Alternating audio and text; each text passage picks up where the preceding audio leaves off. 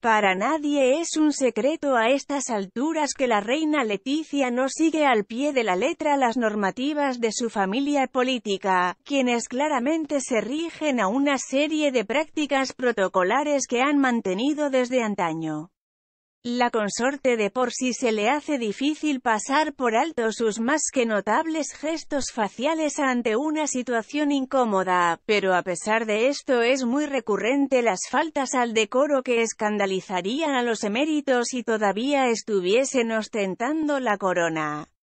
Lo que se le hizo casi costumbre a la reina de España es saltar la regla de estar siempre a la derecha de su esposo, después de todo él tiene ser el primer en saludar a las delegaciones que lo esperan, pero Moncloa también recordó que el protocolo establece que las mujeres pertenecientes a la monarquía jamás deben sentarse con las extremidades cruzadas pues siempre deben estar con una postura derecha.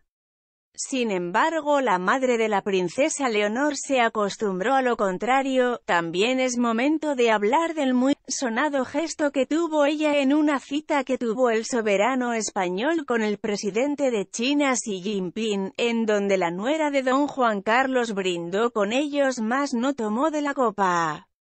Esto fue interpretado de una muy mala forma por los críticos quienes esperaban que honrara la tradición que poco sigue, como cuando el rey Felipe asiste al Congreso de los Diputados. La reina Leticia en vez de llegar en el mismo coche del jefe de Estado, opta por hacerlo en separado junto a sus hijas y así hacerse notar indudablemente.